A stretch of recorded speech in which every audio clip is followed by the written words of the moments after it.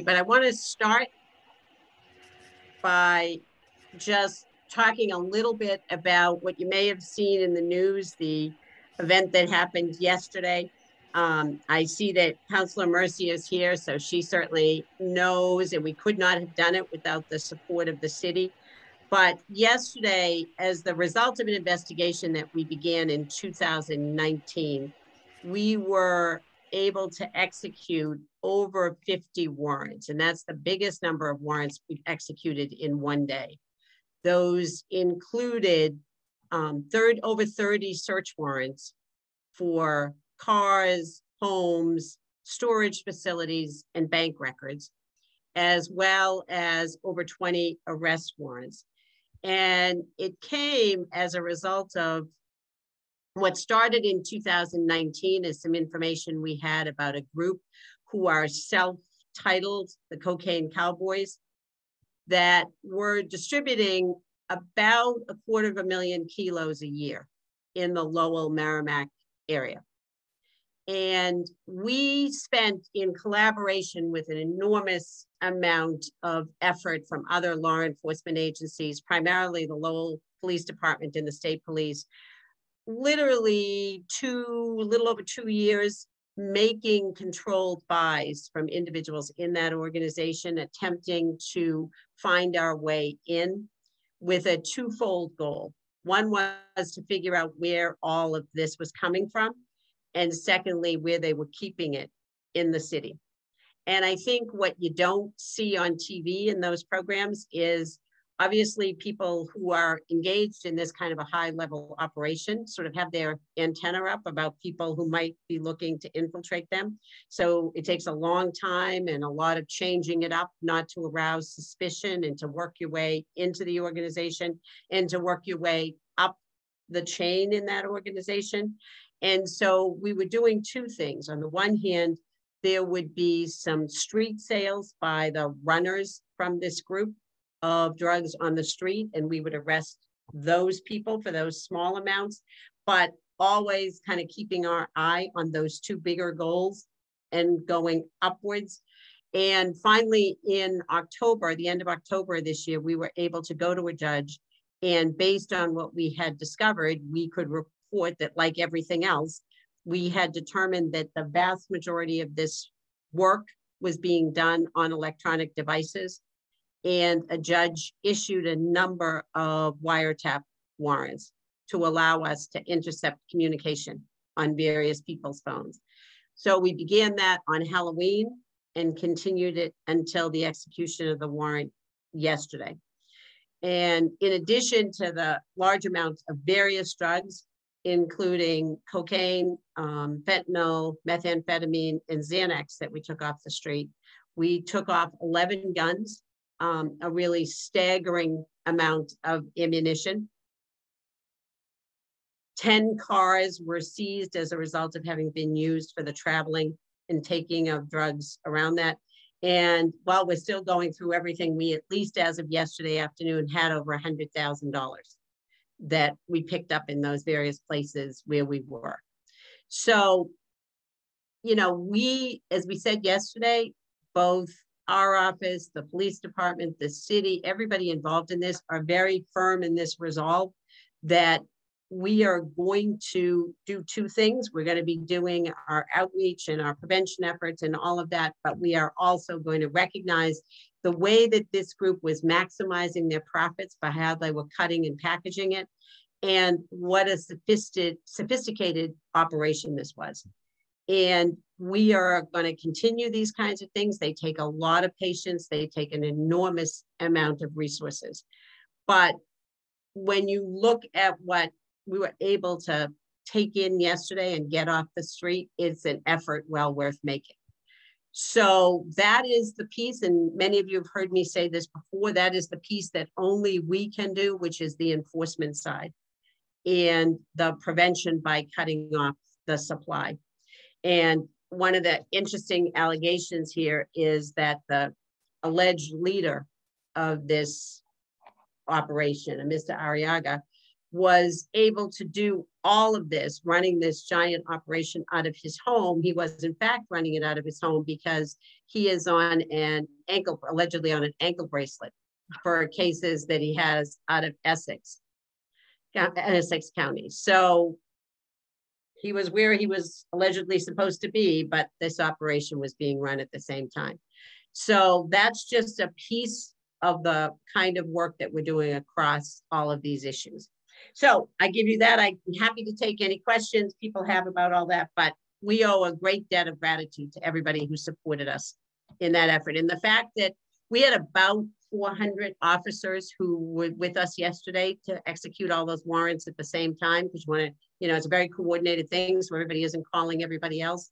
Um, and it's very coordinated just to make sure that nothing goes wrong and no one gets hurt in the process of, as I said, executing more warrants than we had ever executed before in a single day. So it was really a commendable operation. All right, um, moving back and beginning as we always do with our numbers, we see that it's interesting in looking at the last four years, we are right now back to a place where we are slightly below where we were in 2021 at this point. You can see the map that Nora has just put up. Um, we are still seeing those non suicide, fatal overdoses happening sort of in the same places we have seen before. Um, I am hopeful. It has been relatively quiet. I am hopeful that we will make it to the end of the year um, down from where we were you know, it's it's interesting. We were down very far down in 2019. We went even further down in 2020. Um, last year was a bad year, and that is true across the state. Our numbers went back up for the first time in about 10 years, um, and I'm hoping we can start that downward trend again. So we'll have you can take a look at all of that and sort of see we've got the same what you know what we refer to as that elbow of the county, the Medford Malden area, Lowell as well. But again, they're scattered all through. There's a concerning scatter of overdoses in the southern part, the Marlboro, Framingham, that area of the county as well. So the work continues on all fronts. So let's go to our presentations. Our first presenter today um, is Charity Ryder, who's here with us from a program which just does, as so many things that we hear about here, but really a program that does amazing work on, she's from On the Rise. And for those of you who aren't familiar with it, On the Rise is a day program in Cambridge that serves homeless and formerly homeless women and transgender non-binary individuals. And most of the clients from On the Rise are people who don't fit the qualifications for other programs. For example, they might not have a firm, they might not be in a place to make a firm commitment about leaving an abusive partner. They might not have a treatment plan for their mental illness. They might not be ready yet to say, I'm going to try to address my addiction. And they might have a criminal record, which would keep them from being involved in some other programs. And I think one of the most interesting things about On the Rise is it really does meet people where they are. And it recognizes that homelessness, and you know, as we slide into the winter and we're thinking about this again, it it's about more than just not having a house. It's a whole web of challenges, and they can come from traumatic events like childhood abuse or domestic violence. It can be a health condition like a chronic illness, a physical disability, mental illness and then just all of the systemic issues, you know, poverty, racism, gender discrimination, transphobia, and destructive coping mechanisms that have led them in many cases to either legal issues or addiction issues. And in a typical year, On the Rise serves close to 500 women and trans non-binary individuals. They provide meals, they provide advocacy, and they provide community. And I think for so many of these programs, and all of you know this, one of the big pieces is the dignity in which it's done. And On the Rise is fortunate to be in a beautiful Victorian house in Cambridge doing all of this work. So I'm really grateful that Charity's taken time to be here with us this morning, and I'm going to turn it over to her. Wow, thank you so much. I feel like you did my presentation. no, um, so lots of things that are important to know about On the Rise were said, but I do want to just highlight a few a few of those things before I talk specifically about how the challenges our folks um, struggle with related to substance use and um, accessibility um, to some of the things that are helpful to people when they're struggling with those things. So um, On the Rise was founded in 1995. Our founder was the um, director of the Harvard Square Homeless Shelter. And in that role, she was talking with folks who stayed there, particularly women who said, there aren't enough services to help us, right? Um, there still are, I feel like, more services for unhoused um, men identifying folks um, and not as many for women identifying people. And so I think at that time there was even fewer services. And so Katya really listened to what people were saying. Um, and they said, we really need a program where we can just come and be who we are as we are and really um, take it slow and, and build relationships and do the things that are necessary to meet some of our goals and our challenges. And so Katya founded On the Rise. It was exclusively um, a street outreach program in the beginning. So people were on the streets of Cambridge and Somerville mostly, um, talking to folks and uh, you know understanding what the needs were. So in 2000, we moved into this Victorian home that was described, um, and we've been here ever since. And part of our model, our, our focus really is about building longstanding, trusting, mutual relationships with the folks that we work with. And part of that is really creating an environment that is supportive of that. So the program is housed in an old house. It has a kitchen, it has a bath, a couple of bathrooms, it has a bathtub, it has a room where people can watch TV, it has a place where people can sleep. We have computers, people can get their mail here, they can do their laundry here. And it really serves as a home base and a home in a sense for people who don't have a home outside of On the Rise. Um, and in doing that, I think it really creates a sense of safety and belonging for people, which is really what we're trying to do. We're trying to create a community.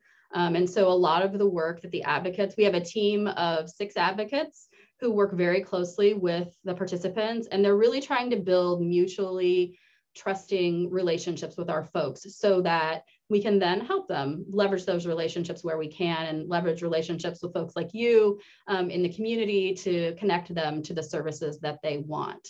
Um, and the key things about our approach are really that people get to decide how they want to use our services. So if somebody wants to come in and just sleep and eat, which are basic things that we all need to do, that's okay. Um, if they come in and they want to start applying for housing, those are things that we're going to help them do as well. We also help people access treatment for substance use or mental health treatment.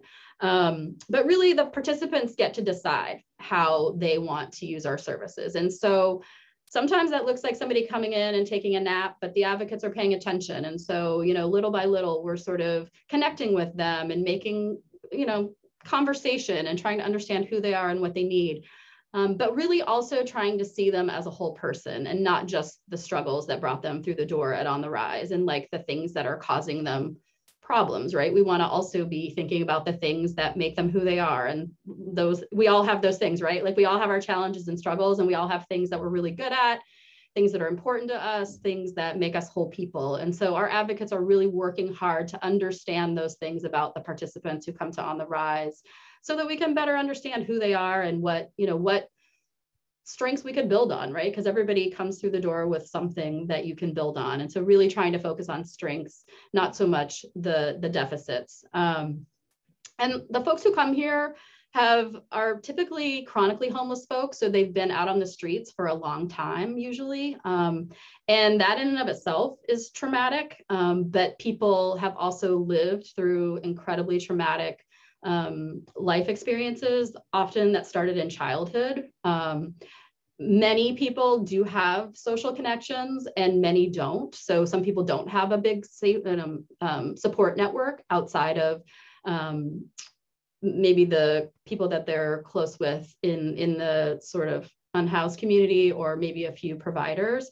So really trying to create a space where people can feel connected and feel like they have supports. Um, people also are struggling with a lot of significant untreated mental health issues um, that complicate their ability to access other kind of more traditional services. So people um, on the rise does not have a sobriety or a sort of requirement for people to be taking medication or to be sort of well in the ways that people might define mental health. Um, and so people can come in here really as they are. And so people are often struggling with those very significant mental health issues and pretty significant um, substance use, um, misuse um, issues. And th so those things combined often make it hard for them to access other services because they get barred or they don't follow through or those kinds of things. And so we're really trying to create a space for them to feel like they can come here and take it at their own pace. Um, almost 100% of the people who come here are in poverty, so they don't have a lot of resources, which plays into their ability to access meaningful help often. Um, and they're just in a state of crisis, right? And it affects their physical health, that affects their mental health, and it often is a reason why they um, continue to use substances. Um, so many of our folks are involved in the criminal justice system, right? They are doing things often that are getting them in trouble. Um, substance use is one of them, right? So people who are unhoused are often congregating outside and using and things. And so we are helping folks who find themselves in those situations, trying to advocate to get them treatment if they're interested in that. Um, we also really do work from a harm reduction model though also. So we're not, you know, we're really gonna meet the person where they're at. And if, if that means that what we need to do is connect them to services that can provide them with safer ways to use, we're gonna do that. We work closely with AIDS Action and the Needle Exchange here in Cambridge. Um, and also we want to be able to be a resource for people who do want to get access to treatment. So we're trying to help people go to detox. We're helping people um, get Narcan trained, certainly. Um, our staff are actually all getting Narcan trained tomorrow um, and really encourage our participants to do that as well, because they're the folks who are often with folks on the street who are, who are using and actually need to be Narcan trained and need to have it on them. Um, but really, I think the struggle for folks who are unhoused with substance use is that it's really hard to find meaningful treatment. I think that is actually long term enough for them to make a change.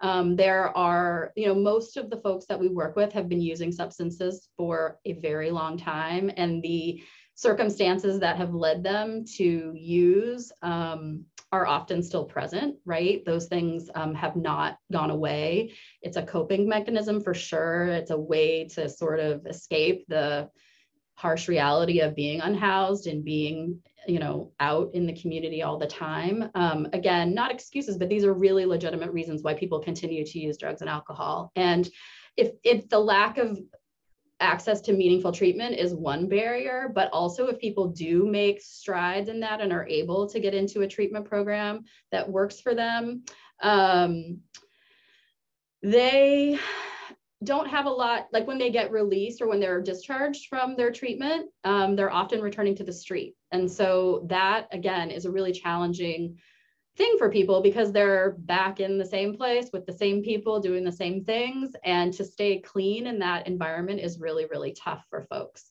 Um, and so often there's feels like a revolving door of sort of accessing detox and short-term treatment and then going back out into the street. And so really I see this issue as more of a systemic problem of not having enough housing, which we all know is a problem for folks, um, because getting people connected to things once they're maybe have a little bit of clean time under their belt is really challenging. And again, staying clean um, on the street is really, really challenging for folks who have a long history of um, drug use.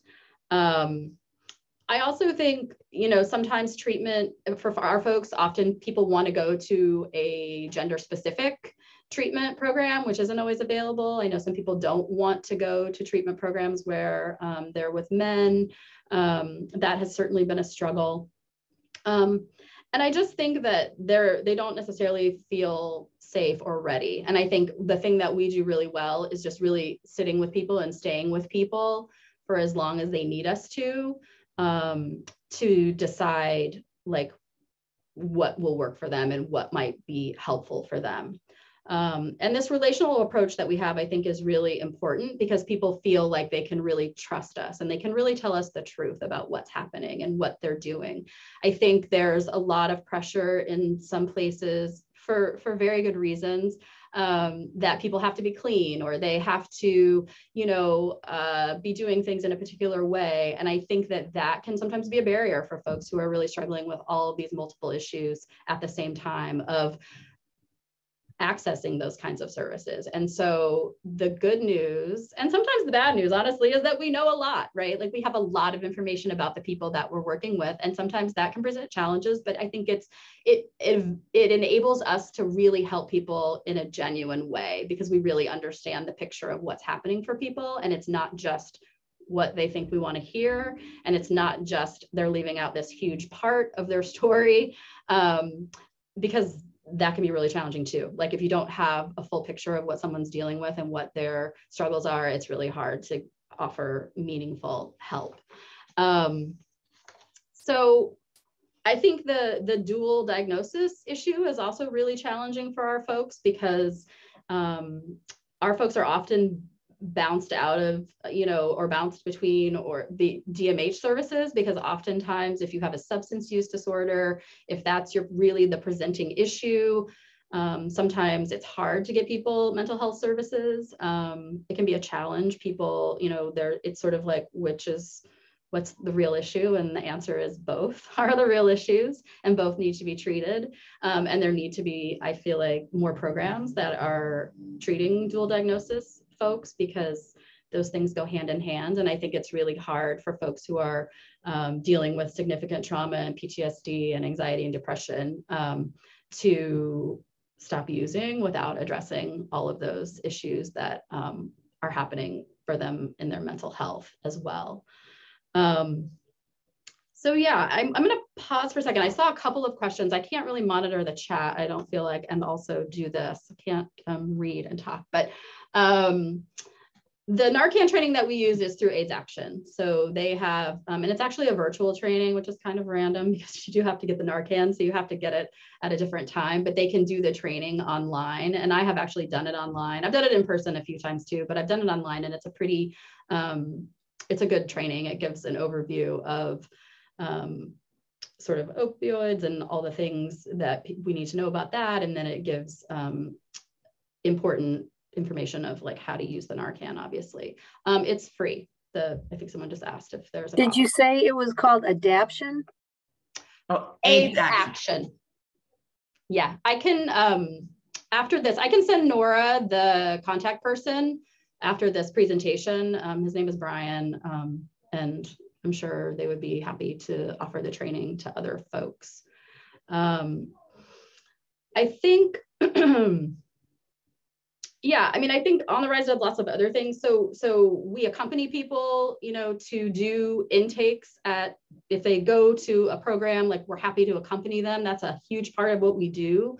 Because a lot of times the barriers for folks to access services is really that they're scared or nervous to do it alone or maybe don't have the transportation they need to do it. Um, and so our advocates are available for folks to accompany them, right? To go to that first intake appointment um, for a mental health assessment or to go um, to the housing appointment or to go to a medical appointment because a lot of our, you know, I think all of us, it's sometimes it's hard to take it all in, right? And for folks who are struggling with multiple issues, sometimes it's hard to retain that information. And also, it's scary sometimes to be going to do something that is really hard or maybe that you're ambivalent about doing. Because um, I think that um, one of the things that our advocates really do well is, is using motivational interviewing to work with our folks to really try to suss out where they're at in the change process, right? We all struggle when we're having to make some kind of behavioral change or change in our life of like, am I really ready to do this? Do I have the commitment I need to do it? And what are the things that I'm going to have to give up if I do this thing? And what are the things that I'm going to gain if I do this thing? And so, really talking about trade offs like, what what would it be like for you? Like, how do you envision this happening? And so the advocates are available to have those kind of conversations with people to really understand.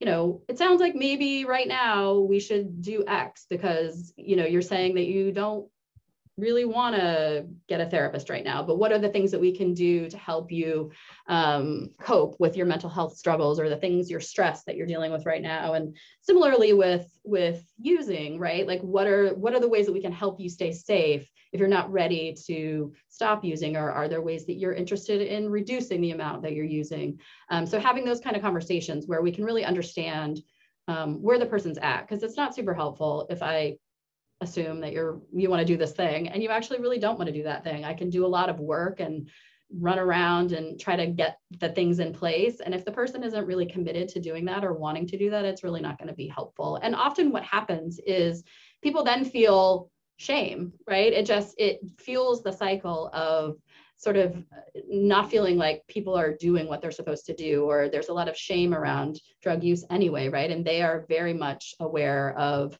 um, how people see them and view them. And so, you know, if you are too far ahead of the game and down the road farther than the person is and try to connect them to services that they're not ready for, it's not going to be helpful. And often I, I would argue can be harmful to sort of their own um, sense of self and, and their self-esteem. And we're definitely trying not to do that. Um, let's see. Um, so the accompaniment is important. I think that advocates are doing all kinds of accompaniment. Um, we also do, you know, they take people to appointments. We go to court with people um, and can be advocates for people in court if necessary, right? Like um, there are a lot of collateral consequences that come from um, convictions of certain kinds. And so really trying to help people understand what that means to take that plea deal, um, what it means, you know, what the what the consequences might be down the road for you if you take this deal. Um, and again, not saying that they shouldn't take the deal, but just helping people understand what it means and having a real ally and um, an advocate with them when they're in these spaces that are scary and unfamiliar sometimes and um, you know, have have serious consequences for people's lives. And so that's another piece of advocacy that we do is really trying to help um, people through um, their their criminal if there's if they're you know involved in the criminal justice system really trying to be advocates and work in partnership with with whether they are um, you know the victim of a crime or whether they are the defendant in a case um, really trying to be advocates um, for folks and help them understand the process, if nothing else, you know, and, and really working in partnership with um, the prosecutors and, and the defense attorneys um, when, when we can. Um, we also work with a lot of folks who are struggling with complex medical issues, right? Like all of this stuff goes hand in hand. I think being homeless really takes a toll on your on your body, and so a lot of people age. You know, the death rates um, of folks who are unhoused are I, I, should probably know the statistic. I don't off the top of my head, but it is it is staggering um, how much higher it is than the, than the general population for people who are unhoused. They're they're weathering a lot of really challenging things, and I think the pandemic only intensified that. Um, you know, people. I know it, we can all think back to what that was like in March of 2020 to not really know what was happening and not really knowing what we were going to do. And if you can imagine, like not having a place to go um, to shelter in place, um, that was really, really hard and continues to be really hard. But people had nowhere to go. I mean, they literally had nowhere to go. I mean, they were, they lived their lives in outside and in, in public. And, you know, when the world is saying you can't be in those spaces anymore and you have to be sheltering in place and you have no place to do that other than an emergency shelter, which is great, but none of us knew what we were doing at that time, right? So none of us knew how to do it safely. And so I think people are still reeling from that. And as a result of the pandemic, too, a lot of services went virtual. And so for folks who are unhoused, many of them do have phones, but many of them didn't know how to use Zoom, didn't really know how to. I mean, you know, none of us really did, let's face it. In 2020, we learned quickly, but um, and people don't have private spaces. So, like, telehealth is great if you have a place where you can shut a door and have a therapy session with a therapist in the privacy of your home or your office or wherever. But when you're unhoused, accessing those kinds of services that I think many of us feel like have improved our lives or made those things easier actually um, are not that easy um, because they don't actually they live their lives without a lot of privacy. So um, that's another thing that on the rise tries to offer is space for people to do that. On any given day there's probably one or two people who are either on zoom for court and an advocate is sitting with them while they're while they're in their court session and or they are using a space in the house to meet with their therapist or their doctor through a telehealth appointment. Um, and so that has been a way in which we've really, I mean, I wouldn't have ever dreamed that that was something that we would be offering people, you know, pre-pandemic, but it's been a great um, way that we can support people um, in, in this sort of virtual world that we're kind of all now living in somewhat. Um, and it, you know, still there are things that are really challenging for folks though. Um, I don't know if anyone's tried to renew their driver's license or had to do anything with the RMV, but it is a whole thing. Um, I need to renew my driver's license, and I literally feel so grateful that I was able to finally get an appointment by setting my alarm and getting up at 7 a.m. when the RMV releases the appointments. I mean, it's it's it's a lot. And so, folks, you know, and again, being unhoused. Um, getting ID, getting an ID in general pre-pandemic was a whole thing, just because you have to have a birth certificate or an ID to get an ID. You have to have ID to get ID, basically. And so folks who we work with often don't have those things, right? They've lost them or whatever has happened. And so that's another huge piece of advocacy that we have done with folks is really just getting documentation that they need for all the other services that they need to access. Um, but the ID thing, you know, you have to have an, well, you don't anymore, but essentially you do kind of still have to have an appointment at the RMV. So that's like another way in which we're trying to assist people, um, just doing those kinds of um, systemic things. Um, but I don't know if people have questions. Um, I would love to hear them if you do. Uh, Candace. I don't really have a question. I'm sorry. I just have more of a comment, and um, the harm reductionist in me couldn't like not say this. Um, at the beginning of the meeting, we talked about like the big drug bust. So I just wanted to like remind everybody that with big drug bust is usually an unintended consequence of over, excuse me, of an uprise in overdoses because the drug supply has now changed and people need to resort to going to other drug dealers um, so I just wanted to, you know, put all the outreach workers and everybody that works with active addicts on alert that usually when a drug bust comes, this is when we have the increase of overdoses. So I'm sorry, but I just, I needed to say that. no, thank you. Thank you. And um, I think I think that will also be relevant to some of the stuff that Traci may be talking about next uh, in our next presentation. Mm -hmm. um, Charity, I just I was wondering and, you, you touched on it a little bit in terms of lack of privacy and, and um, but it would seem to me that for folks who are unhoused, there are simple logistical problems that folks who are housed, who have a place to receive mail, who have, um, I guess theoretically, they have more of a network or more connections um, but but what what are some of the specific logistical kind of hurdles that being unhoused places in front of a person who's trying to either access services or just stay safe until she's ready to access services yeah it's a good it's a good point i'm glad you brought it up um you know, there are so many. Um, I think being unhoused is a full time job. I think people don't really understand that. I think people say, like, why don't you just get a job? Um, or why don't you do X? And I think that um, a lot of folks don't know where they're going to sleep tonight right? Like that has changed a little bit since the pandemic. There are more shelters that actually have saved beds. Um, some of the shelters that used to have lotteries no longer do so right now, but who knows what will happen moving forward. Um, but a lot of space is taken up in people's brains and, and minds about survival, right? So where am I going to eat? What am I going to eat? Where am I going to sleep? What time do I have to be there? Because no shelter has the same time that you have to be in. So, like, if I don't get a bed at Woods Mullen, or you know, if I don't get a bed at St. Patrick's, which is a place where a lot of our folks stay in Somerville, um, or I can't get in there, where am I going to go? How am I going to get there? People don't always have transportation. Um, some people do, like some people have access to a tap pass or a bus pass, but a lot of people don't have um, access to transportation. So um, getting from Somerville to, to downtown Boston to Woods Mullen is not insignificant if you don't have money to take the bus or the train.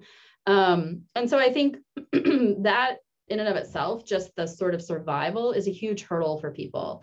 And it's very anxiety provoking and stressful, which fuels a lot of the things that I talked about before, right? It fuels people's, people need to cope with that. So some people's way of coping with that is to use drugs.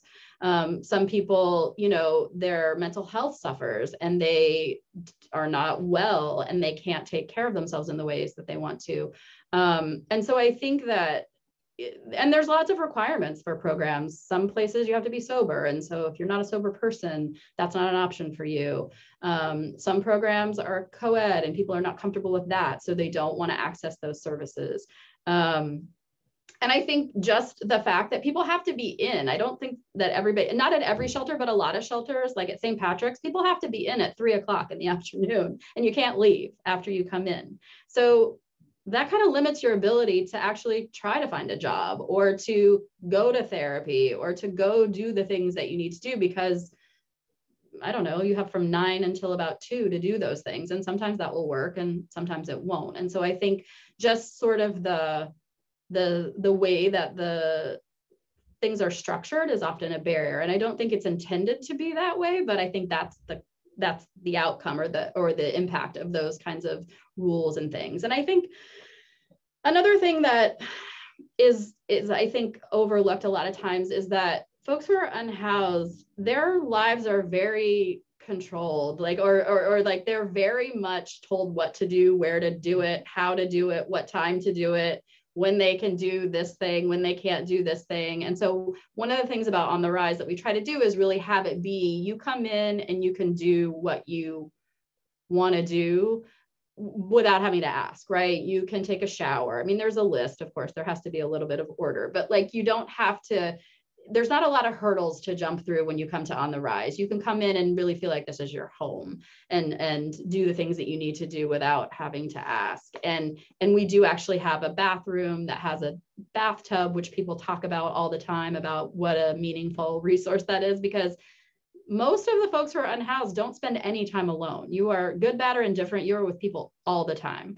Um, you're sleeping in a shelter where it's a dorm setting usually. And so if your neighbor snores you're probably not sleeping a lot or you know you're worried about people stealing your belongings. And so to be able to go into a bathroom and shut a door even if you just take a shower but to know for 30 minutes that you're not going to have to talk or interact with another human being is like an incredible thing that people talk about here. They feel like that is so valuable to just be able to be alone um, for a little bit. Um, and I think Nora, you touched on folks who are housed, and I think there's also this idea that housing is the answer. And it certainly is a huge, uh, it's a huge stepping stone to better well-being and also for our folks many of them who have been unhoused for a really long time um, and are struggling with lots of issues getting housing is a really really really challenging time for them um, when they first move into their apartments because they're living alone um, most of them are, have subsidies and so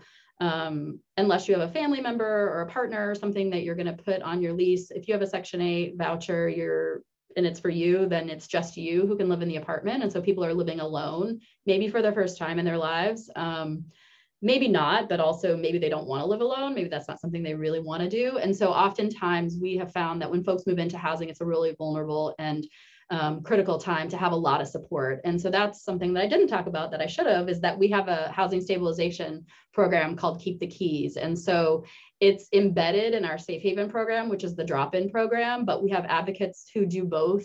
Um, working with unhoused people and housed people. And that's very intentional because when folks, um, I don't know, probably about 15 years ago, uh, started talking with us about um, when they transition into housing, excuse me, often the agencies that they were working with they would have a worker who helped them find the housing and then once they moved into the housing they would get a different worker who would do this sort of stabilization services. And there's nothing wrong with that model at all, except that the folks that we were working with said, I actually don't want a stranger coming to my apartment. I want to know the person who's coming to my apartment. I want to know that they know me and understand me.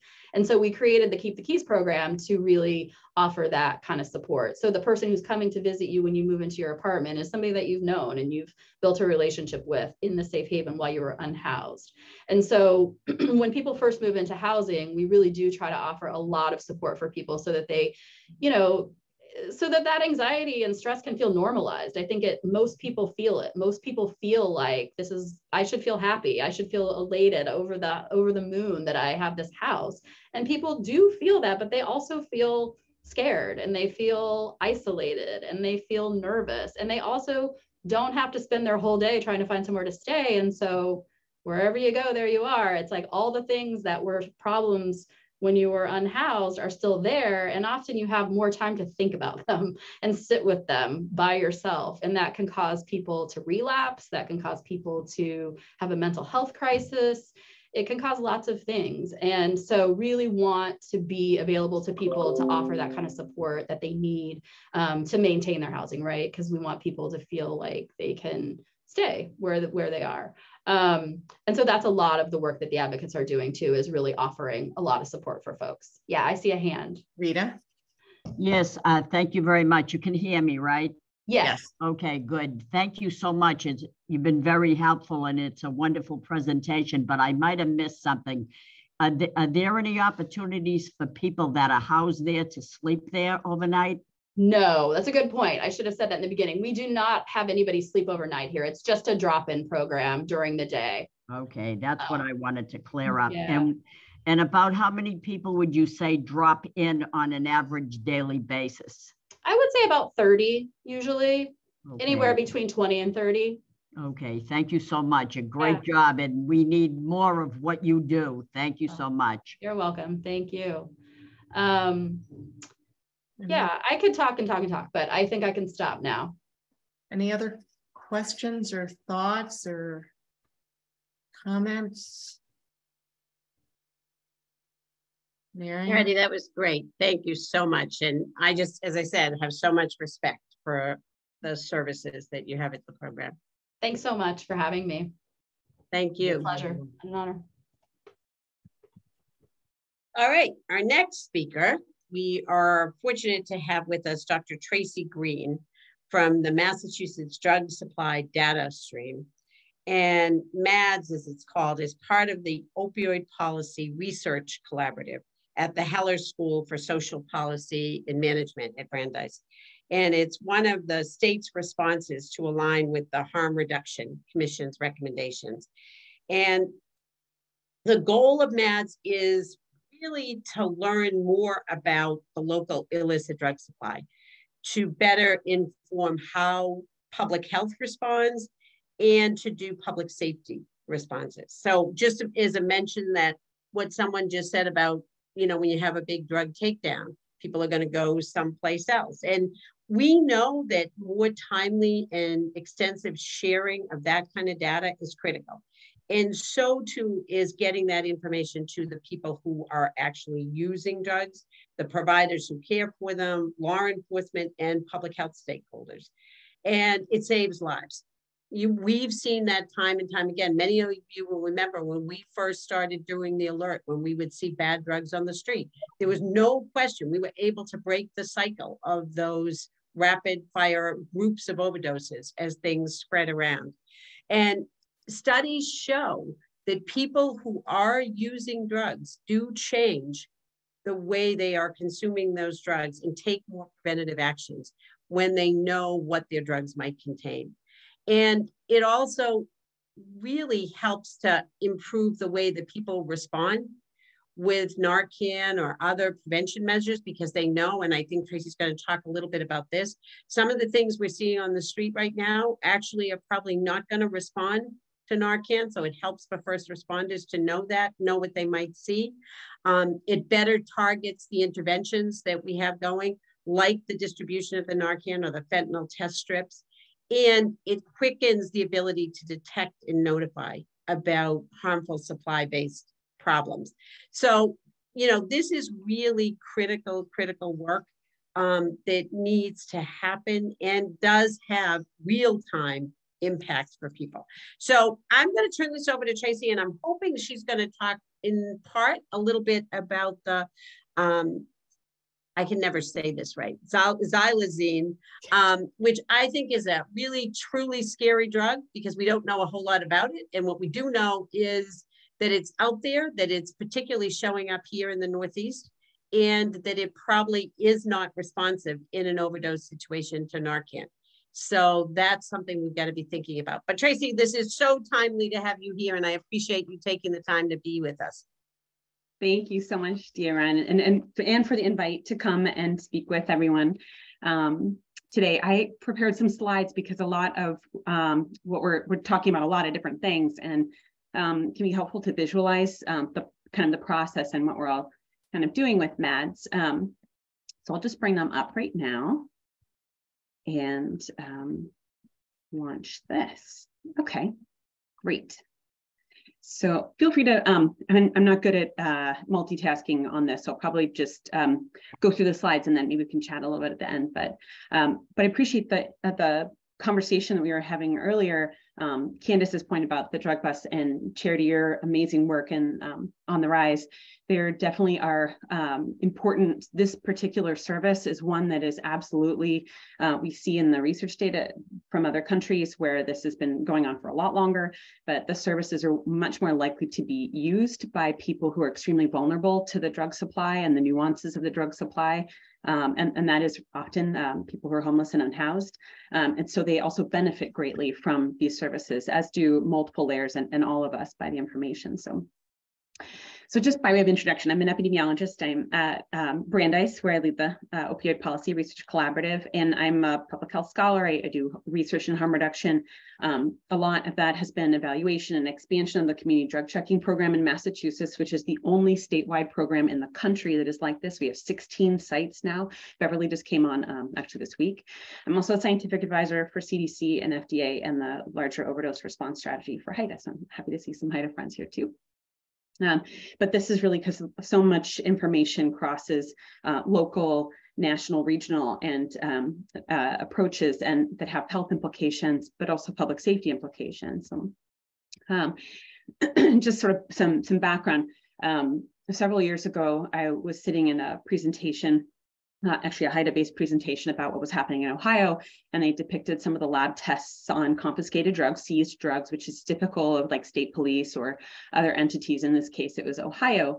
Um, and they were showing over time that their um, real-time data of drug seizures um, showed a, a, large increase in um, overdose um, in, in, in uh, carfentanil rather that tracked really closely onto overdose deaths. And the overdose deaths, of course, far preceded that increase as well.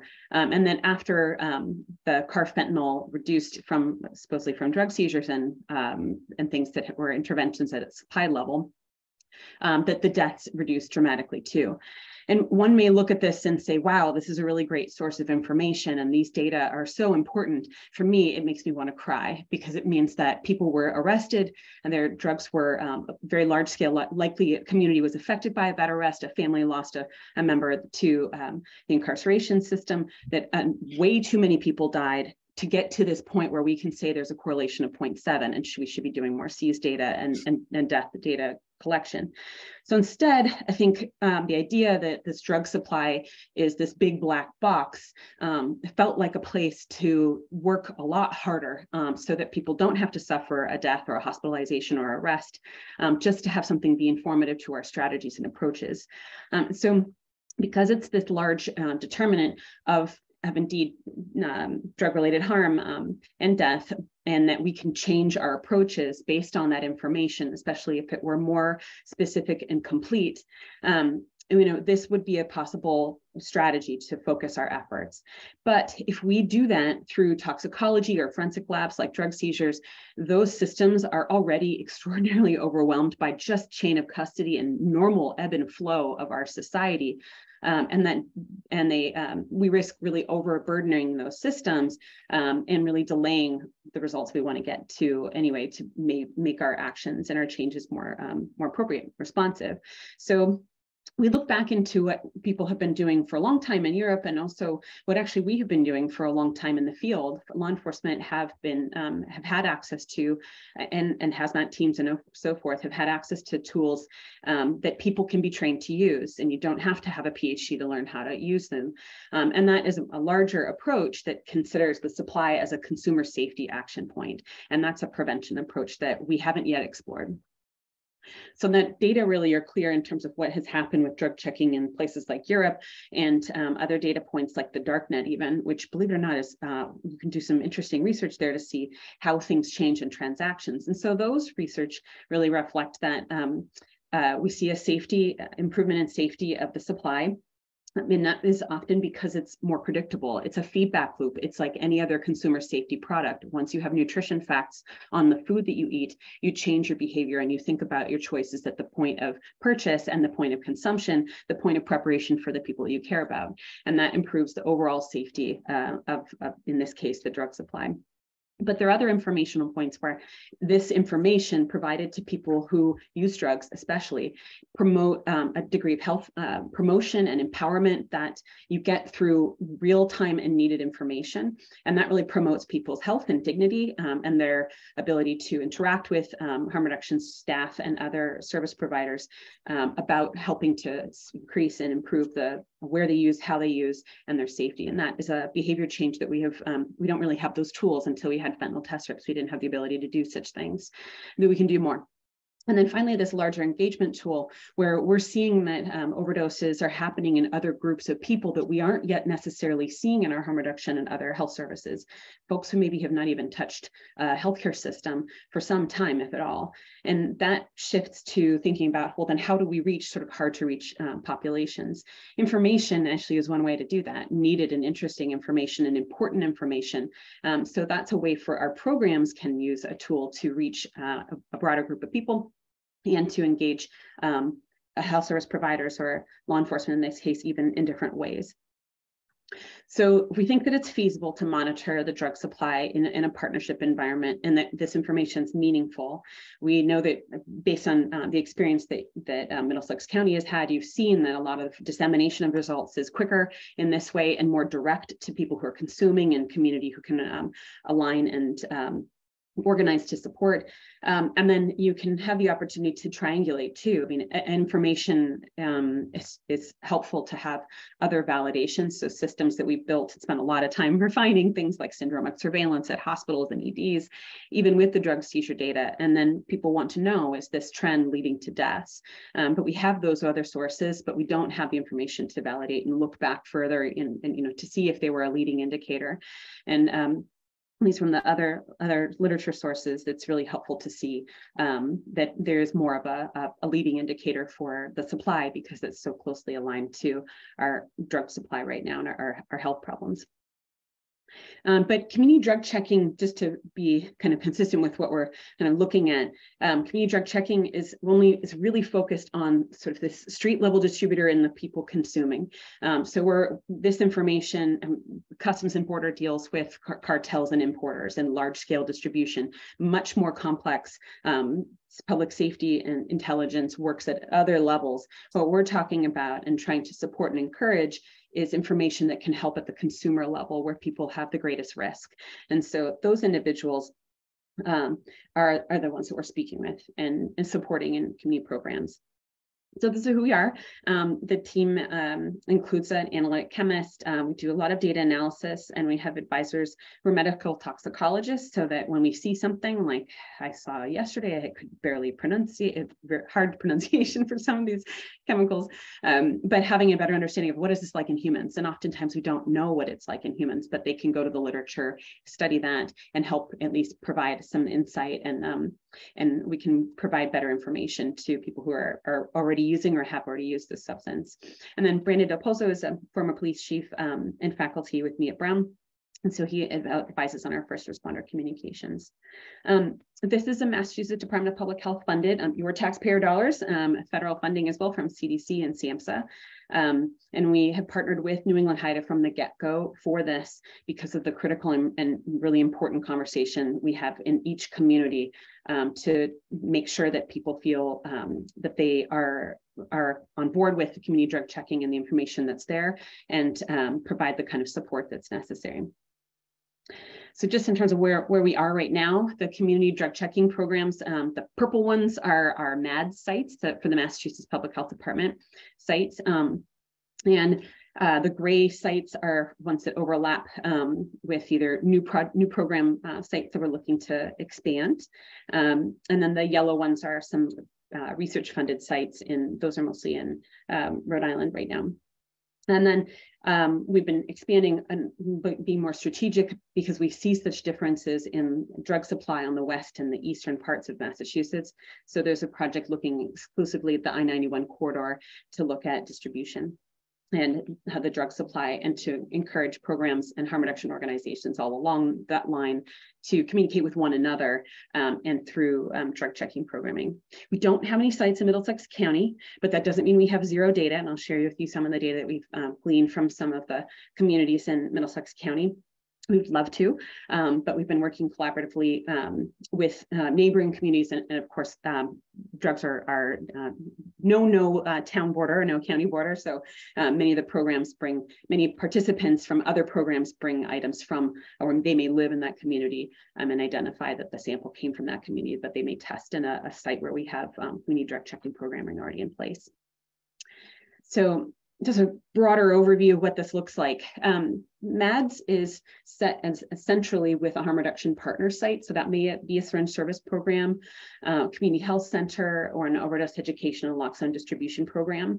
Um, and from that, we have kind of these spokes. And we've seen, um, especially over over the COVID crisis, we saw um, a, grand expansion of outreach. People couldn't come on sites, so much more outreach occurring. And in that case, what we developed was the capacity to um, work with and communicate at just the same way that distribution of um, sterile materials was happening in the community. And sometimes the, uh, and in that same moment, there may be um, removal of some of those used items and disposal that conversation and outreach, whereas naloxone is being distributed, it was an opportunity to talk about um, community drug checking and offer to check to check um, the substance. We take remnant drugs, so it's often the same sort of um, used cookers and cottons that people are already providing for destruction, but instead we'd say, would you like to test that? And we can share with you what, what was inside of it um, and help um, with communications and reflect that back the next time they go on outreach. So that's an example of the kind of things that um, generally happen in outreach and can interface within the workflow, which is really important not to disrupt the good work uh, of the community partners um, and add on one more thing, but more to integrate into existing activities. Other groups definitely have mobile vans. and a number of programs around the state have, have um, expansion of mobile health vans. And so they incorporate into that drug checking. Um, often that is um, uh, depending on whether they want the machine on site or they collect on the mobile van and then bring it back to the stationary site and the, and the site um, is where the testing occurs. So a couple different approaches. Um, a number of our partners in North Carolina and um, in, in, California are doing mail-based submissions. That was really another kind of thing that we've we've learned. Um, some places either they don't have the space or the staffing, and they may never have the space or the staffing, and that's okay. That um, the programs kind of evolved to have drug checking capacity by way of um, providing um, envelopes, and then they put um, the used cooker or, or remnant um, remnant from a baggie, and then they place that, and that goes to our DEA control lab where all of our submissions go for confirmation anyway. So they kind of skip the machine and skip seeing us um, necessarily or skip the partner site.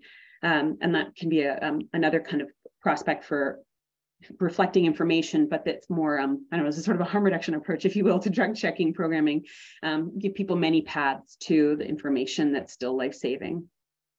At the base of all of this, we work with and um, collaborate sometimes actively or sometimes more in a, a, a, a, less active form, but with the police department or a district attorney collaborator, and whether they provide samples, and I'll share with you in a second about that, or most sites do not provide samples.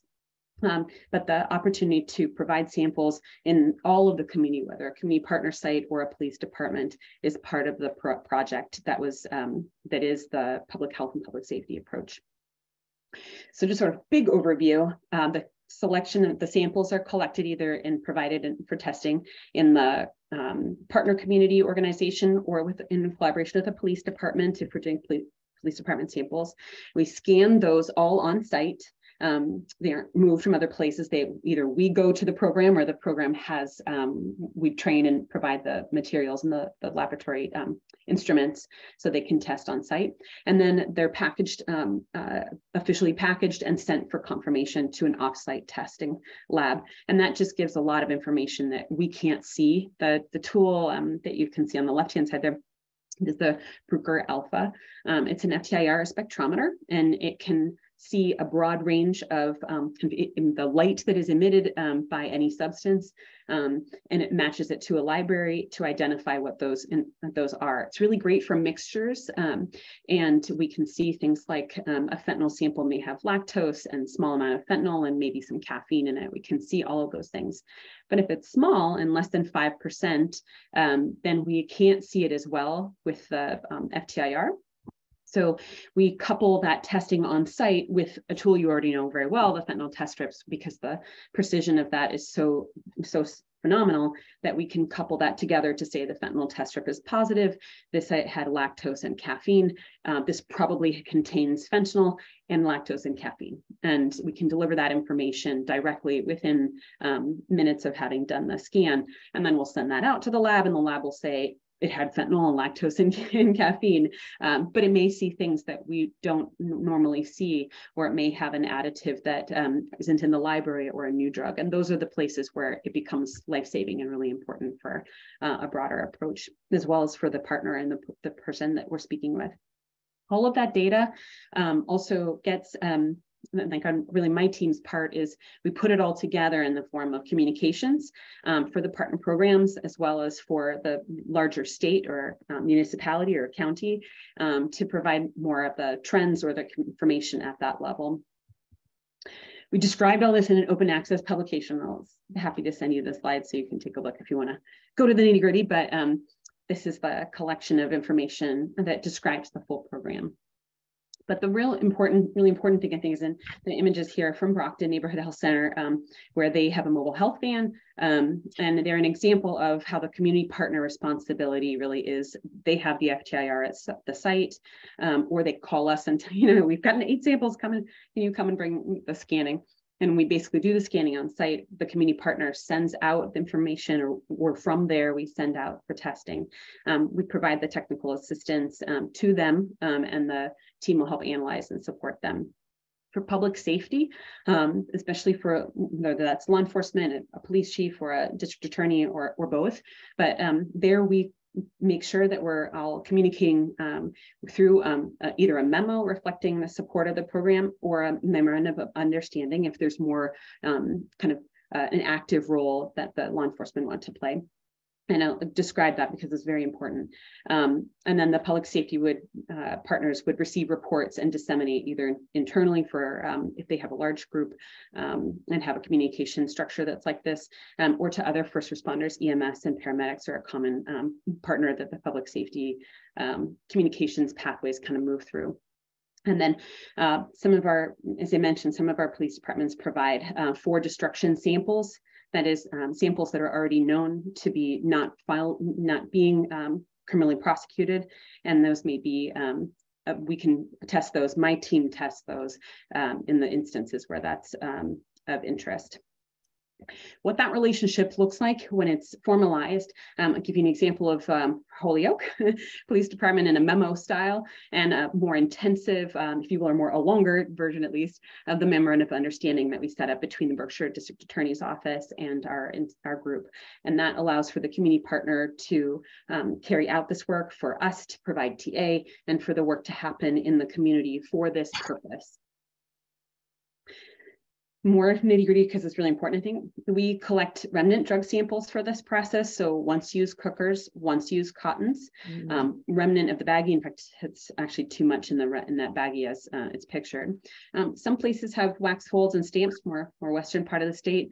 Um, parts of a pill, again, that's even too much. Um, pipes, we're able to test the pipes, so the content of the pipe and um, scrape that, and we're at the lab the amount that comes into the testing process is about the um, half a grain of rice or about a grain of rice, so a very small amount. And then for the police department samples, um, when we do those, so we're a very small number of departments and places where we do this, but um, those are only non-criminal cases. They are already in the lineup to be incinerated. They tend to be controlled buys, so they're not linked to any human um, at that point. Found property, not linked to any human. Usually they're found in like a Dunkin' Donuts bathroom or the parking lot at the pharmacy or wherever it may be or on the sidewalk. Um, non-fatal or fatal overdoses, again, these are not being used in any sense of the criminal prosecution or otherwise.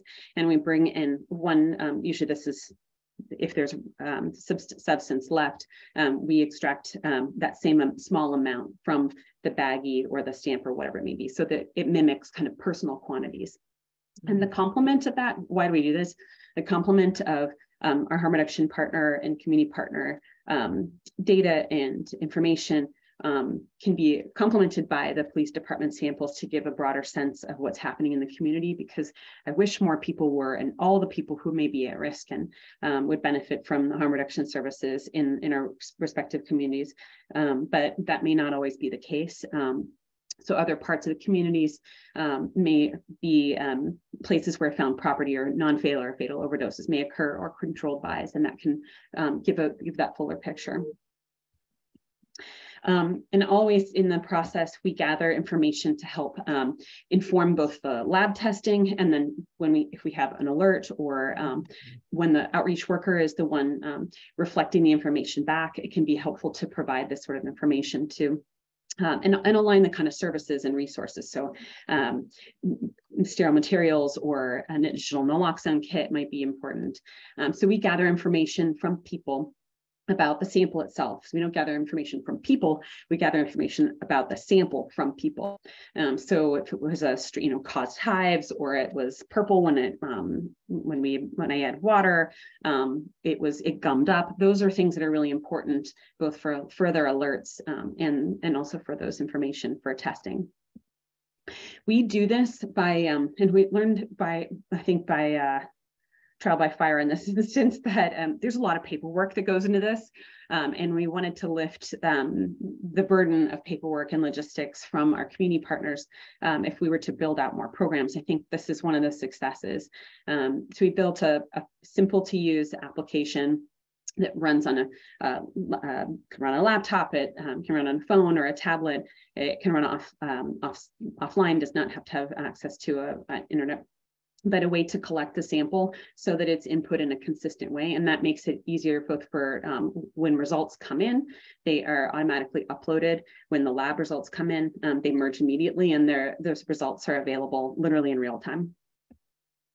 So the partner program, the sample collections look a little bit like this. Um, you, maybe we saw examples from a mobile health van or um, a, an outreach team or a stationary site, respectively, at the top there um, if there is something that happens and is stored on site, this is part of the agreement that we put into place that um, everybody on the team who's involved with it sort of knows where what the process is for sampling. They use StreetCheck. It goes in the locked bag. When they bring it back, it goes into a filing cabinet that's in your, your manager's office. And um, if there is no, if there's a machine on site, fine, then it gets tested. If there's not a machine on site, um, then they text us and call us. And um, in the meantime, it sort of sits in this um, kind of environment. So uh, that process looks a little bit like um like has a kit, if you will, a locking sample bag and some sample baggies flyers um, for people to let people know about the program. Um, and then that oftentimes the outreach partners or community partner programs, um, when they're out and about, like to have the MOU or, a, or the memo that the legal um, notice that's on, on their person, both for reference and because sometimes partners and, and clients, um, participants don't actually believe that this is something that is being offered. So it's part of the, um, that it's legit, um, the trust building that happens um, in offering a new service like this. These are all the equipment, the FTIR, the test strips. We use benzo test strips as well as fentanyl test strips, and hopefully sometime soon, xylazine test strips. Um, the two labs we use are um, the drugsdata.org lab and the Center for Forensic Science Research and Education, which is also what Philly Department of Health uses and New York City Health Department is using. And those are two wonderful med medical toxicologists, Dr. Whiteman from Brown and um, Alex um, from CFSRE. these are kind of data we gather. So I'll get to that little part here. Um, these are from uh, last year and just kind of give you a sense of the, the samples that we end up getting. Um, and here probably we're going to talk a little bit about xylazine. Um, fentanyl is hands down the most common substance that we detect in the drug samples, um, followed by cocaine. And last year we saw quite a lot of xylazine, but as you can see, though it tracks really closely in nearly all, nearly every sample where xylazine, uh, actually every sample where xylazine is present, fentanyl is present, but not all fentanyl samples contain xylazine. If it did, you'd have this line going all the way to the end, right? Um, but this is the kind of the range of active substances we see. And the kind of fentanyl analogs, which um, carfentanil is one, for instance, you can see that from the pie chart. We haven't seen um, analogs like that, but we do see a very, in a dominant form, um, 4-fluorofentanyl or parafluorofentanyl, as some people call it, um, which as we came to understand when it came about in um, 20 into 2020 and into 2021, mostly in Lynn, where we first started to see it um, that 4-fluorofentanyl was important because um, while it's like a lot of fentanyls, um, it has a, a, different LD50 or a lethal dose 50, which um, just means that um, it, it turns to problematic or toxic fast. So witnessing use where 4-fluorofentanyl is present is really important to be able to respond with naloxone or um, so overdoses may happen, um, fentanyl use may occur, but then the toxic effects may happen very quickly. Um, this is an example of a community level report that we provide um, to the MADDS um, programming. And so this is for Berkshire County, just as an example. And then overall statewide, a big question we always had was, is fentanyl, where is fentanyl and what other drugs that could it potentially be contaminating? Because a little can very easily by accident or um, otherwise from distribution patterns um, find its way into other samples. So um, we've been tracking this for a while now, but um, you can see nearly all the heroin also contains um, fentanyl.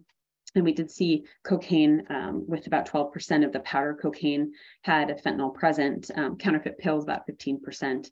Uh, we did not see fentanyl on the crack samples nor in the methamphetamine samples. So this is important because we have a different sort of whole strategy for when we talk about contamination of substances. Um, people who use cocaine may not have tolerance and may be very concerned about um, fentanyl and you know may benefit greatly from fentanyl test strips. So knowing how much um, fentanyl, how much cocaine um, may be affected by fentanyl helps build that strategy. But the big one, I think, is xylazine, and it's really reminded us, I think, that that um, community drug checking is probably the only way we would ever know that xylazine is in the drug supply because we'd otherwise have to wait for a medical examiner data to come out. These are not this particular veterinary sedative finding its way into the um, drug supply um, up and down the East Coast, most kind of unfortunately in the Philly area, um, but we're starting to see more of it in Massachusetts. And so back in 2020, we'd seen it um, in a couple places, but in very, if you will, this is a screenshot of drugs data, which is one of our labs we work with. If you kind of follow along from the bottom up and the ratio amounts, you can see that it was originally kind of tracking below the red line um, in those two communities as, you know, trace levels of, of xylazine. So perhaps something not particularly um, concerning, but we were just keeping an eye on it because uh, many of us were familiar with xylazine and its horrendous effects on people who inject drugs and um, people who use drugs in form in the form of um, very fast moving um, abscesses and um, uh, acute infections, um, as well as um, incredible sedation that um, can change, which may be um, challenges on victimization and sedation in public places and um, uh, loss of circulation to limbs um, if people are sedated and not moving for hours on time. So there's some unfortunate, the worst of which would mean amputation. Um, so the, the kind of importance of xylazine um, and keeping an eye on it was, was definitely on our minds. In 2021, we did start to see it shift upwards. And so as you move from the Boston samples up to the Lawrence samples, we saw more xylazine in the drug supply.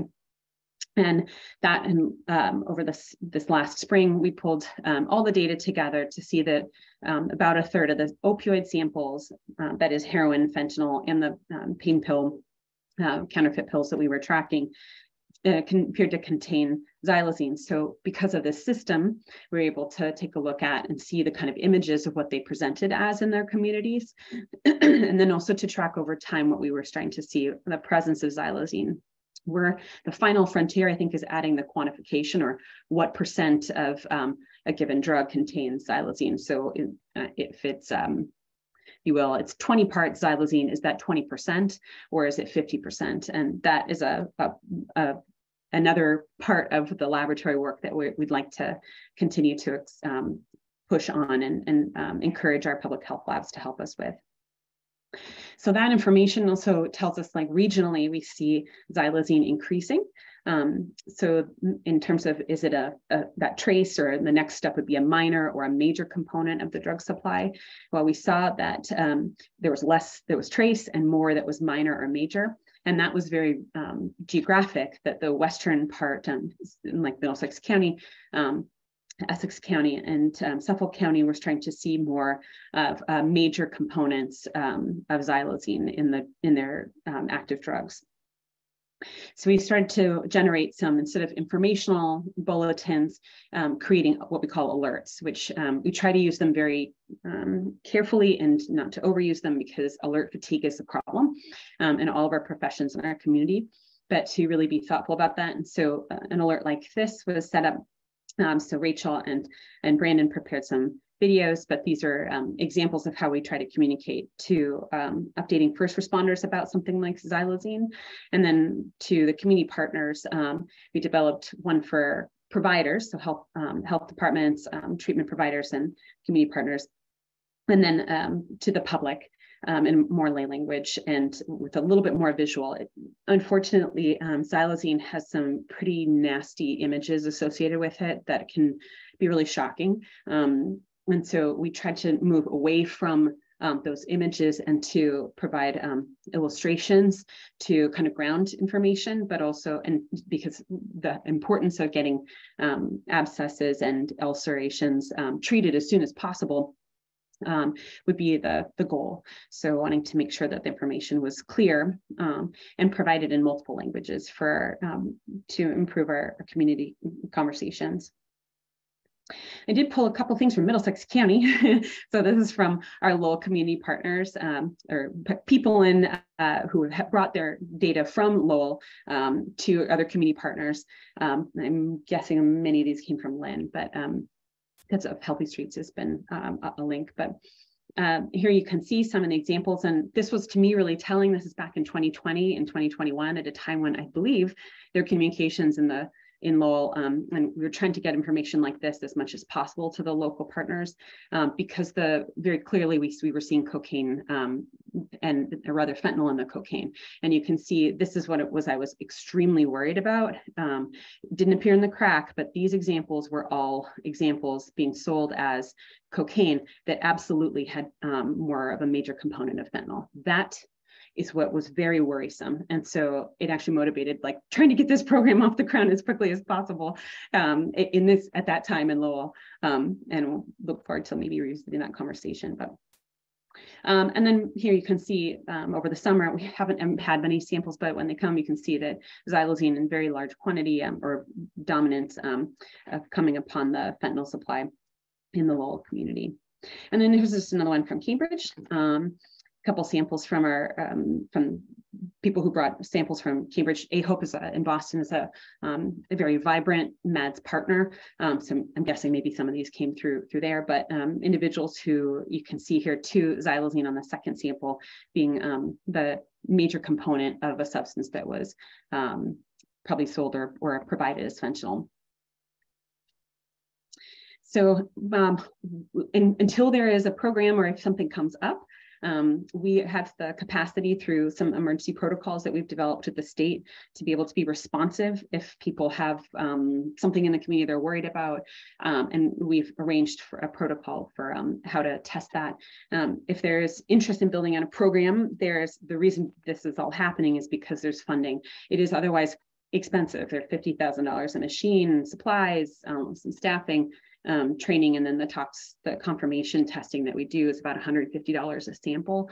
So it's not um, an inexpensive undertaking, but thankfully we have um, we have the really importantly we have resources in the state to um, build out programs in, in any community and we'd love to have a program in, in Middlesex County.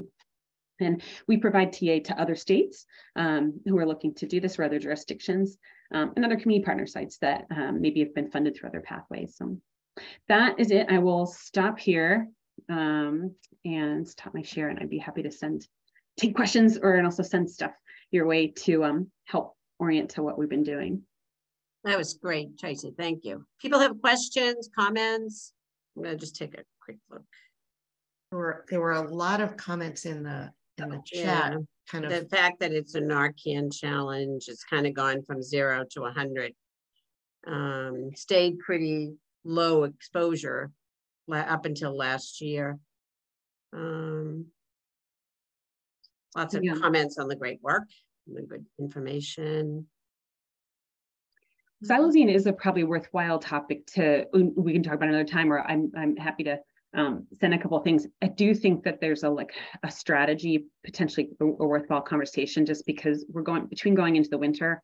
I think it's probably really linked to some of the unhoused strategies too, and making sure people are safe. Um, but identifying wound care um, and resources in our communities where you start to see xylazine um, would be really important, and kind of just talking about the protocols and and I, I think it's a place where honestly law enforcement and EMS it, where it could go bad. Um, and so having those conversations kind of very openly um, and making a plan with the community partners so that kind of everybody knows what they're doing and um, on this feels really important.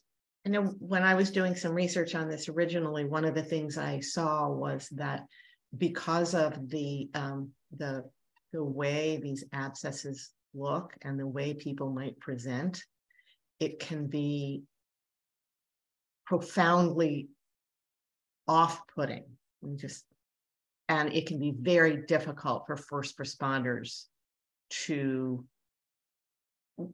kind of maintain their uh, equanimity and their compassion. I, I'm trying to. You said it well. Yes, we got it. So, And even so, for staff, it can be really shocking. Just, Yes. just um, you know, staff who are working regularly to support um, the community of people who use drugs. But yeah. Mike, Mike, Thank you. Uh, Traci, the, uh, this was really eye-opening, very, very scary. Um, I don't know whether you're aware of the, um, uh, on, on the local public health, uh, angle, whether or not you're aware of the Public Health Excellence Program uh, that is now combining, um, at this point, we have three hundred and twenty uh, boards of health across the Commonwealth grouped into fifty sharing arrangements. And uh, they're, they're funded for the next, well, it's a nine-year program.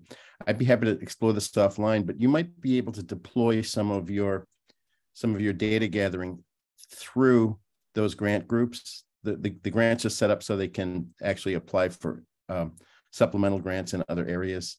Some of them actually have as much as $5 million in extra grants. It's a $300,000 a year grant program for, for, for nine years for the cities and towns. I'd be happy to help connect you with, with that if you want. That'd be great. Yeah. Okay. I'd be happy to. Mike is a great, res- Mike is a great resource, so.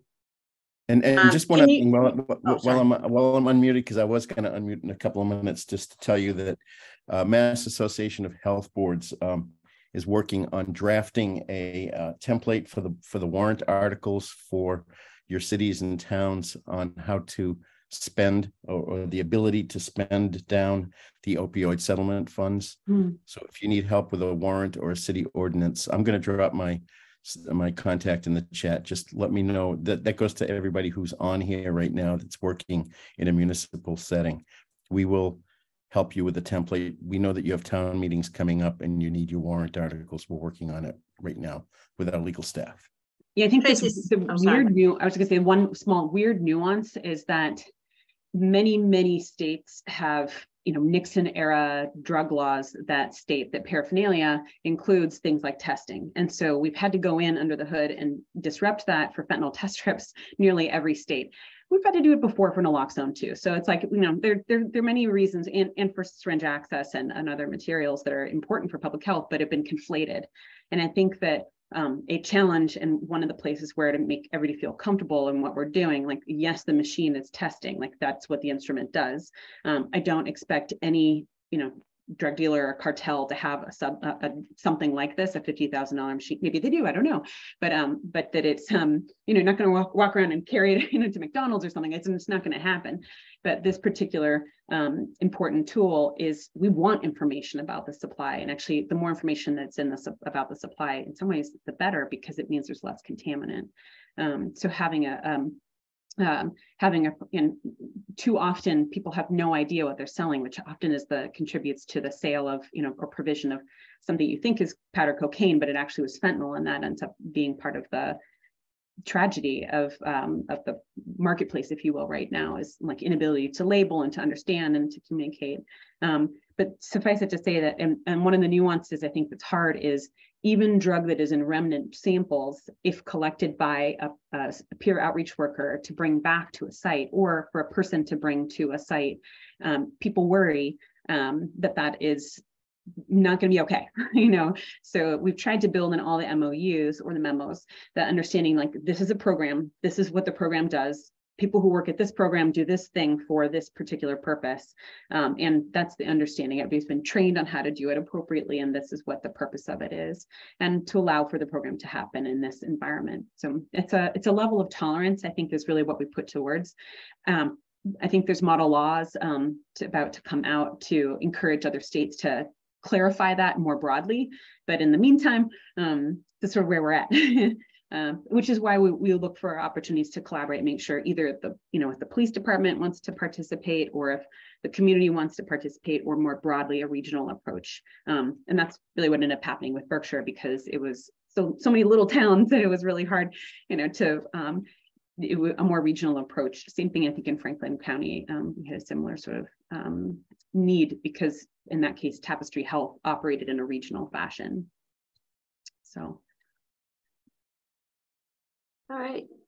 Thank you, Traci. This is great. Just really, really good information. Thank you. So we've now reached this really sad part that I was hoping we would run over time and I would be able to skip right over.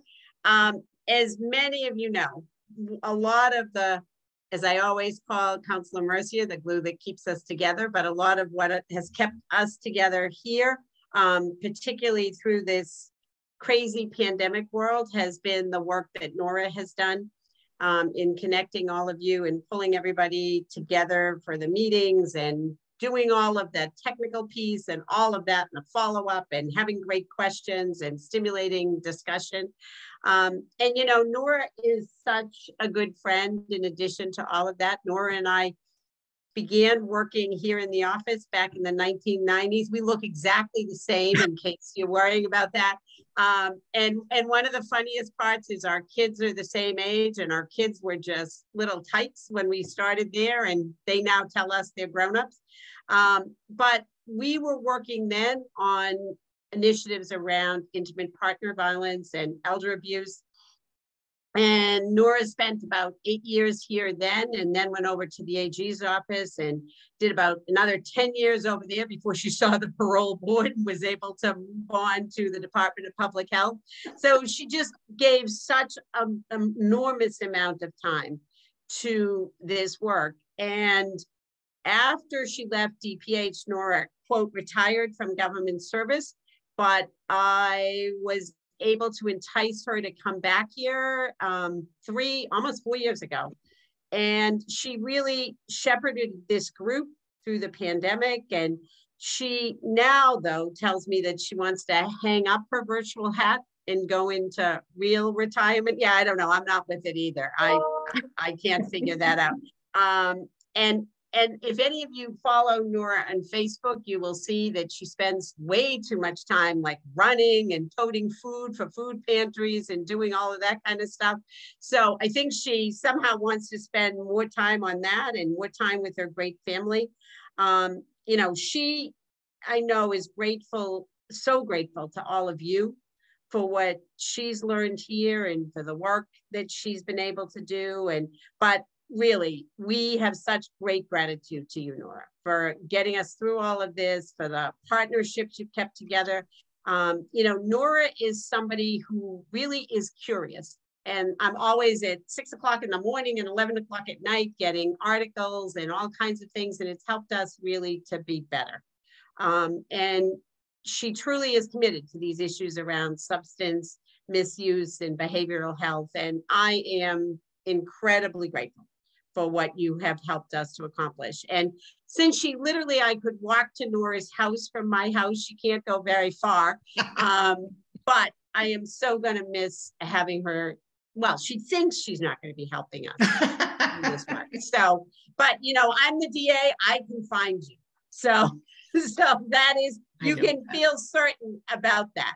Um, and in her leave taking, has as well been, as she always is, incredibly gracious in helping to settle in. Um, someone that I want you all to have a chance to meet, Madeline Garrett, who's an assistant DA who joined our office this fall to work on community partnerships and legislation and public policy issues.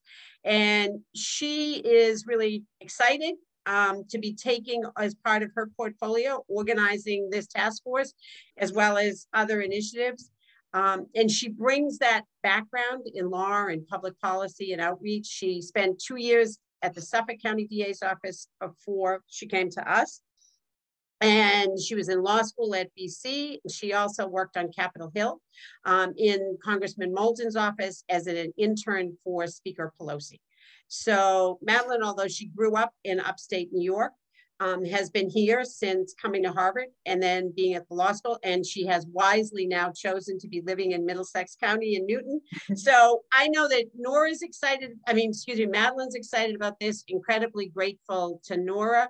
Um, so the legacy goes on and I'm excited about Madeline taking this over, but Nora, I really am incredibly grateful. And I see all the messages coming in. You've had such an impact and, you know, I'm confident that Madeline will do that as well. But I want to give Nora a couple of minutes to change her mind, tell us why she thinks this is necessary. Perhaps Susan and Councilor Mercier could grill her a little bit as to what's up and why she thinks she wants to do this. So Nora, the floor is yours.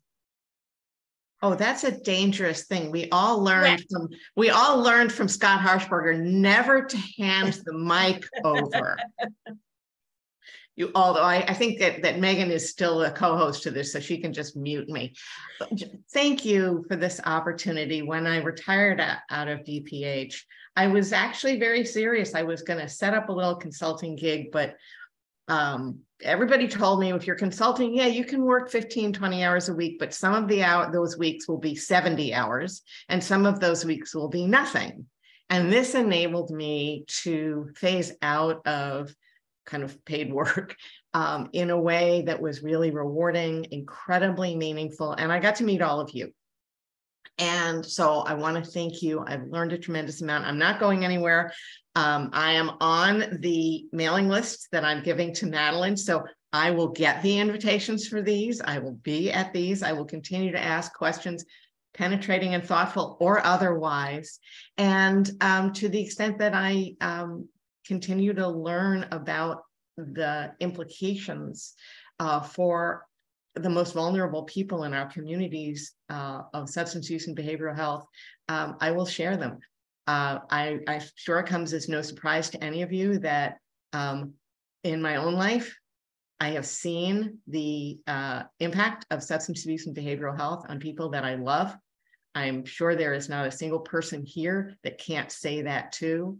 And the more work we do talking about it, and the more work we do destigmatizing it, and the more work we do thinking about the whole person, not the person who has an addiction or the person who has a mental health issue, but that whole person, the better off and the stronger all of our communities are going to be. And now I'm going to stop so that I don't tear up.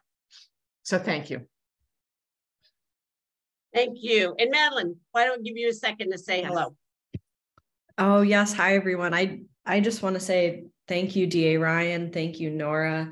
Nora, impossible shoes to fill. And I'm so grateful to hear that you will continue to be um, so involved with this group and just your leadership here. It's it's so clear the difference you have made, and um, I'm just really grateful to get to dive into this work, to learn from all of you, to get to know you all. Um, so I'm I'm excited for that, and it's nice to meet you all virtually here.